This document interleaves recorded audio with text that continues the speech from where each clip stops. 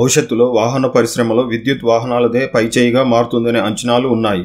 ఈ రేసులో అంతర్జాతీయ స్థాయిలో ఎవరు ఆధిపత్యం సాధిస్తారన్నది ఆసక్తికరంగా ఉంది. పూర్తిస్థాయి ఈవీ విక్రయాల్లో టెస్లాకు ఫోక్స్ వ్యాగన్ టయోటా మోటార్ కార్పులు గట్టి పోటీ ఇవ్వబోతున్నాయి. భవిష్యత్తు కోసం ఇప్పటి నుంచి భారీ పెట్టుబడులు పెడుతున్నాయి. విద్యుత్ కార్ల విషయంలో తొలి అడుగు వేసి రేసును మొదలుపెట్టింది టెస్లానే. ప్రారంభం నుంచి దూకుడుగానే వెళ్తుంది. ప్రపంచంలోనే అతిపెద్ద వాహన తయారీదారులైన ఫోక్స్ వ్యాగన్ టయోటాలు కూడా రాబోతున్నది విద్యుత్ వాహన తరమే అని గమనించి వేగంగా అడుగులు వేస్తున్నాయి.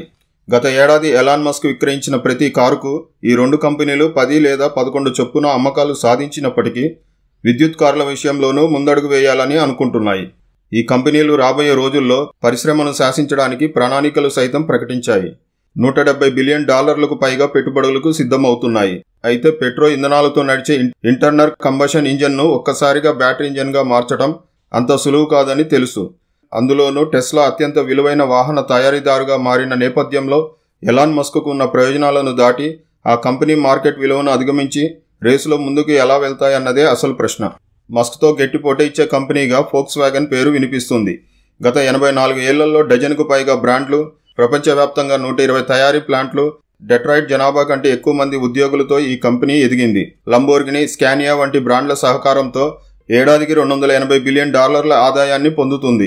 రెండు వేల ఇరవై ఒకటిలో ఈ కంపెనీ మూడు లక్షల ఇరవై రెండు వేల పూర్తి స్థాయి విద్యుత్ వాహనాలను డెలివరీ చేసింది.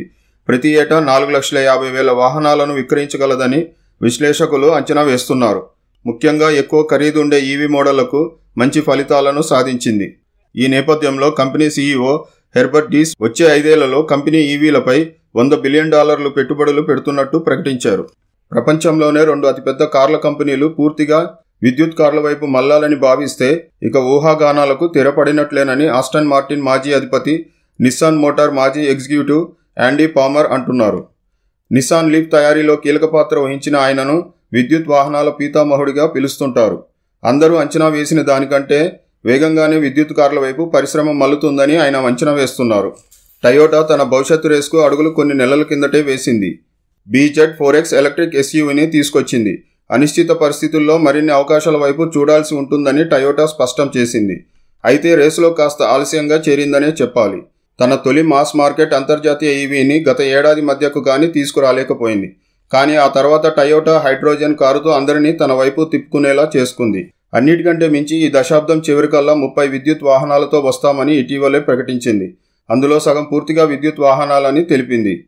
డెబ్బై బిలియన్ డాలర్ల పెట్టుబడిని ప్రకటించింది. దశాబ్దం చివరకు ఏటా ముప్పై ఐదు లక్షల ఈవీలను విక్రయించాలని లక్ష్యంగా పెట్టుకుంది. ఏడు నెలల కిందట నిర్దేశించుకున్న లక్ష్యంతో పోలిస్తే ఇది రెట్టింపు కావడం విశేషం. రెండు వేల ఇరవై ఒకటిలో టెస్లా తొమ్మిది లక్షల ముప్పై ఆరు వేల వాహనాలను డెలివరీ చేసింది. అంత క్రితం ఏడాదితో పోలిస్తే ఇవి తొంభై శాతం అధికం. అందుకే షాంఘై ప్లాంట్పై మరో నూట ఎనభై ఎనిమిది మిలియన్ డాలర్లు పెట్టుబడులు పెట్టనుంది.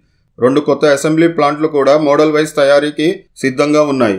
ప్రస్తుతానికి గిరాకీ తగ్గట్టుగా ఈవీలను ఉత్పత్తి చేస్తున్న టెస్లా రాణించగలదనే కొంతమంది విశ్లేషకులు అంటుండగా మరికొంతమంది మాత్రం అమెరికాలో టెస్లా ఈవీ మార్కెట్ రెండు వేల ఇరవై ఐదు కల్లా ప్రస్తుతం ఉన్న యాభై శాతం నుంచి ఇరవై శాతానికి తగ్గొచ్చని అంచనా వేస్తున్నారు.